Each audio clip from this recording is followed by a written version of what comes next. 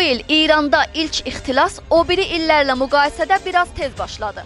Quzarış olunmuş xəbərlərə görə 1396 ilin ilk günlərinin olduğuna baxmayaraq, İranın ilk ixtilası Astani Qods Rəzəvinin əski müavini və eyni zamanda vaiz təbəsinin qeyni olan Rəzəvi tərəfindən edildiyi açıqlandı. Son xəbərlərə görə Rəzəvi adında olan şəxs 1000 milyar tümən ixtilas edib və ölkədən qaçdı.